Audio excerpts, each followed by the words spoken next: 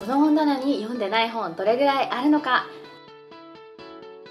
Hey guys! アマリサナナス皆さんこんにちは。知識で美容している勉強マニアのナナスです。この間こんなコメントをいただきました。いい本には出会うんですが、アリサさんみたいに本を買ったらちゃんと読むってことができません。いわゆる積んどくですね。何か本に、えー、敷居の高さを感じてしまい、本の内容とか何を言っているとかが頭に入ってきません。本を上手にスラスラ、えー、読める方法があれば教えてください。ということで、積んどくについてとか、まあ、本をスラスラ読む方法は、きっと他の視聴者にも役立つことがあるかなと思って、今回は動画動画でお答えさせていただいております。確かに私は本1000冊以上多分読んできてその内容を日々使ったりとか知識をまとめて動画にするのが好きです。しかし自己啓発本やビジネス本を読み始めて約10年以上経つんですが初めの3年ぐらいは本を読んでも右から左に流れていくというのかすごいなとかあなるほどとは思うんですが全く自分の人生は変わらない日々っていうのを過ごしていました。よく、まあ、セミナーとかに参加するのが好きで永遠に参加しつつも全く自分の人生変わってない人みたいな。できっと読むことに満足してしまったりとかいい本を読むことが好きなんですけど、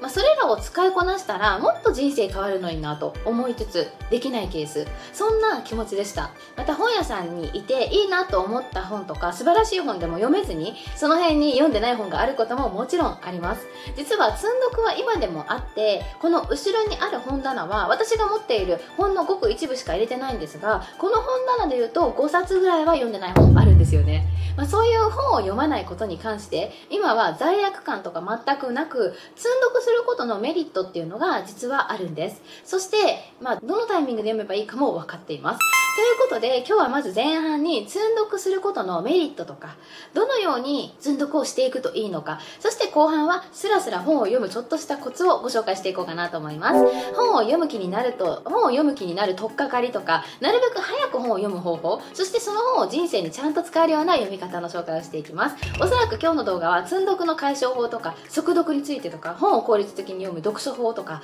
まあ、動画3つ分ぐらいの価値があるめちゃくちゃ濃い内容になってますのでぜひ見返対してでもいいので、えー、しっかりものにしていただくと必ず本を読んで人生変わっていく。もしかしたら皆さんの本に対する対処法が大きく変わる日になるかもしれません。その代わり無駄な内容はないので最後までしっかり見ていってください。ではまず積んどくについて。積んどくとは入所した書籍を読むことなく自宅で積んだままにしている状態を意味する言葉です。積んどくは時間とかお金の無駄になるだけではなくストレスや罪悪感の原因になることもあります。でまずこの概念を変えていきます。本を読んでいくことも大事なんですけど積んどくは必ずしも悪いことではないんですね。例えば今私が積んどくしている本といえば、まあ、以前あのダイレクト出版とかで本が送られてくるサービスに申し込んでいたので、まあ、領収がね届いてくるんですけど例えばそれの中のこちら、えー、例えばこちら今すぐ使える、えー、稼ぐウェブサイト100のアイディアとか、まあ、こちらの、えー、脳科学セールスまた、えー、こういった買わせる、えー、心理技術とかですかね。こういった本ですね、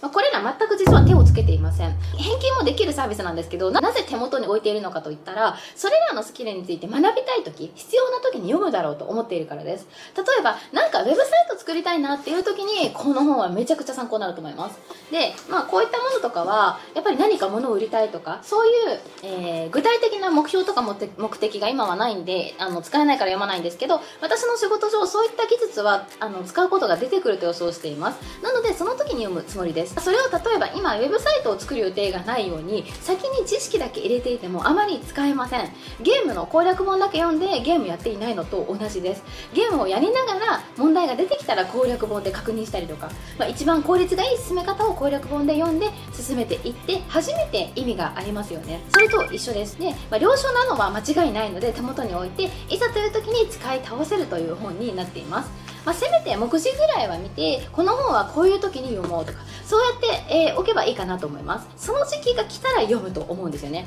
なので罪悪感は全く感じません。そういう具体的な目標が明確ではないんだけどただただ積んどくしている本ももちろんあります。例えば、えー、こちらの本ですね。この本は SNS を見て買ったもののちゃんと読んだりとか書いたりしないといけなさそうだったし、まあ、結構知っている内容もありそうだったのであまり読んではいないです。他にも私は大抵本を5から10冊ぐらいまとめて買うことことが多いんですけど多いのでどうしても読んでない本がたまることっていうのももちろんあるんですよね。ただそれらはあまり焦らずにそういう時はきっと本を読んでその内容を消化して行動してその行動の方で忙しい時期なんですよ。だから月に1冊とか休みの日の楽しみにとっておくんですね、えー、私も一時期は本当に1日10冊とか読んでいた時もあったんですけど本の知識でパンクしそうなので最近は月に本当12冊っていうことも多いです。で特に今は韓国語の勉強とか、まあ、仕事もあり読書でこれまで培ってきた勉強法だとかそういうノウハウを現実で使うことの方でいっぱいなんですよね。なので、まあ、そういう時もね、ま、まあ本を買ったりとか読んだりとかもちろんしたくなるので手帳に今月読む1冊っていうのは書いています。月に何日かそういう休みの日にその本を持ってカフェとかに行って一気に読めばいいので、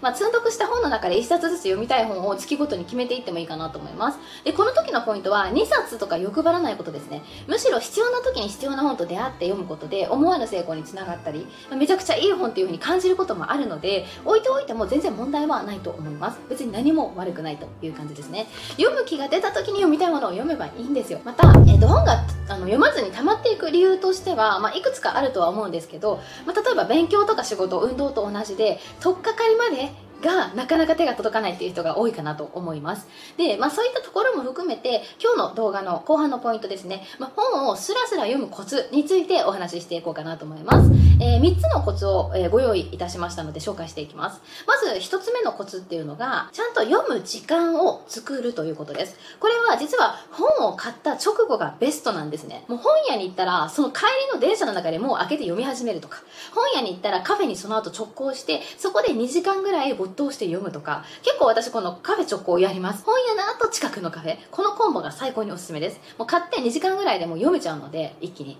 で直後がもし難しかったら例えば今度の土日に読もうとかそういう読む時間を作るんですね、まあ、例えばこちらのですね、えーと、シンプルに生きるっていうこの本、えー、これまだ読んでないんですけれども、まあ、今週末から行く旅行にね持って行って旅行先で読もうっていう風に決めてるんですね。だからあえてまあこういう小さくて軽い本を買いました。つまり買う時にもういつ読むかを決めて買買うんですね。また積んどくが結構溜まって読みたい本が家にあるけど読めないっていう時は本屋でそもそも新しい本をあんまり買わなくなります。家に本があるのに買うっていうのは恋人がいるのに目の前にいるイケメンも口説いてしまうのと同じです。違うか。まこれはお金の使い方みたいな話になってくるのであまり詳しく今回は触れませんが、まあ、自分が読める範囲とか読む目処が立つ程度で買ってください。なのでそもそもこう買うっていうところ自体がねこうちょっと違ってたりとかします。もしくは、まあ、これは後々便利になりそうだし絶対買っといた方がいいなみたいにさっきの本みたいな感じで積んどく目当てで最初から買ってもいいかなとは思います。あとはもう朝に読書の時間作るとか週に一度は本を読むとかそういう時間をスケジュールとして作っておくとその他のことをしてる時にああ読まなきゃなっていうふうに思うそういうことがなくなるので目の前のことにちゃんと集中できるようになりますし罪悪感も消えていくかなと思います。そして2番目の本を読む、えー、コツとしてですね本を読む時に全部を読まないということもポイントです。結構。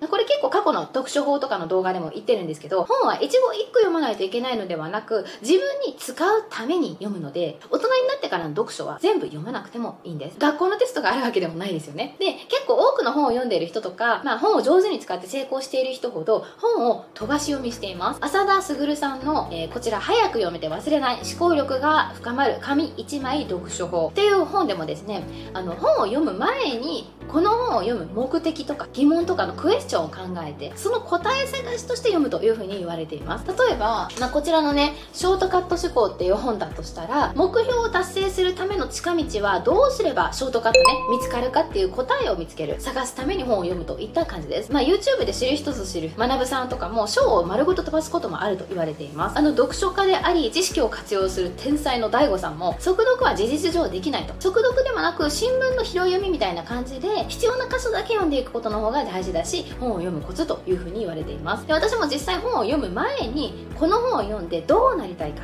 どういう目的で買ったのかっていうのを頭に入れて、まあ、少なくともその答えは得るぞっていう気持ちで読んでいきます。で私の場合は結構 YouTube とか仕事で使えそうなものを買うことが多いんですよね。だから使えない章とか本当に飛ばしたりとかも全然あります。またメンタルが結構ブレてきたりとかやる気が出ない時今の自分に納得いかないなってそういう漠然とした悩みを持ちながら本屋に行ってその答えが見つかりそうなな本を買うんですよ。そうするとクイズの答え早く知りたいじゃないですか。その悩みの解決を知りたいじゃないですか。それを知った自分がどうなるかも見たいし結果を見たいのでとにかく読みたいっていう気持ちで読めるし実践もしてみたくて読むんですよ。だから読みながらおすすめの例えば本アプリが出てきたらダウンロードはするしこういうワークやりましょう考えましょうってなったら自分に置き換えてその場でやります。読みながら。そんな感じでもう読む気満々で取り組めるようになっていきます。そしてその読み方を加速させて実際に使えるようにするためにやるのが次の3つ目のコツになってきます。それがとりあえず線を引く。そしてそれをまとめるということです、まあ、まとめながら読んだりとか一回本を閉じて一生ごとにちょっとこう思い出しながらまとめたりとかいろいろ試しました。で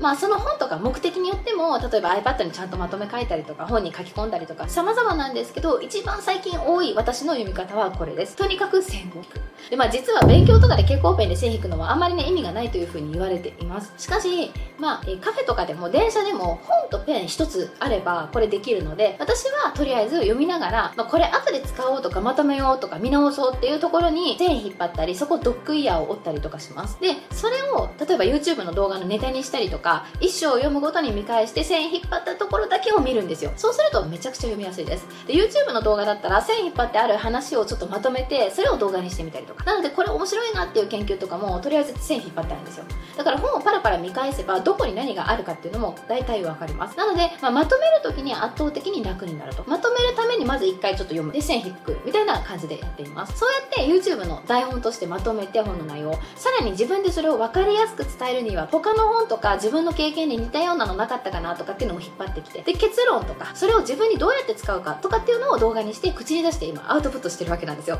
だからまああの皆さんのためになってるかもしれないんですけど私のためでもあるんですよねこういう動画発信、えー、さらにですね、まあ、編集も自分でやるので同じ内容に、えー、本を読んだ後ですら3回は触れるわけです。まず企画する時そして撮影で喋る時そして編集で聞く時っていう感じです。で YouTube とかの SNS でアップするのも非常にそういう風におすすめでもあるんですけど、まあ、その他のまとめ方としては例えば自分の人生でどのように変えていこうかなとかそれをまあ最低最低限章ごととか本ごとに書いておくといいかなと思います、まあ、これは本の裏表紙とかに簡単に書いてもいいですしノートにちゃんとまとめるレベルじゃなくても全然いいです。スマホにメモするとかツイートしておくとか、まあ、その本に書いてあることをどうやって自分の人生で伝えるかまた自分の価値観をどのように変えてくれたかとかを書いていきます。本の感想とか、まあ、その内容がいいとか悪いとかっていうのは正直どっちでもいいんです。読書感想文ではないのでそれは注意してください。で実際にまどう行動するかとか価値観を変えていくかっていうような計画を出ることが大事です。それをすると行動も変わりやすくなって、まあ、行動が変わると本に書いてあることが本当だったらそのようになっていくはずなんですね。でもちろん継続的にやっていったりとか、まあ、合う合わないっていうのもあると思うんですが何かしらの行動を本を読む前と後で変えることができたらそれは正解の読み方かなと思います。ということでいかがでしたでしょうか？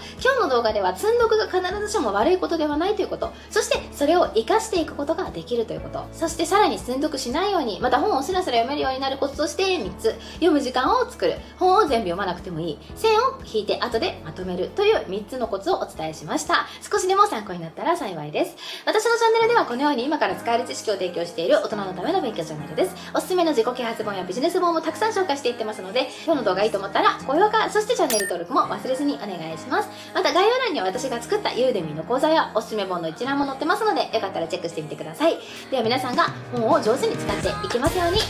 See you!